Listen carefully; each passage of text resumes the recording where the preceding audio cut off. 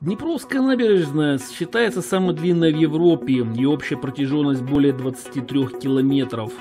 Состоит из трех частей заводской э, Сечеславской набережной. Центральная часть, конечно, это Сечеславская набережная. Э, строительство началось еще в 50-х годах 20 века. Для возведения э, дамбы вдоль берега использовались отходы металлургического производства. Пропет э, смонтирован из звеньев литой чугуна и решетки. Сейчас это любимое место прогулок местных жителей и одна из визитных карточек города. Здесь много памятников, скульптур, кафе, ресторанов, ну и фонтанов, конечно, таких как Белый лебедь или э, Шар.